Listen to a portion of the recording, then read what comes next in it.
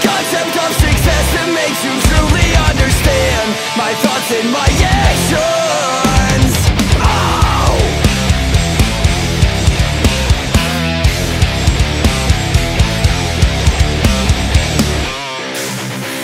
And if you still got something left to say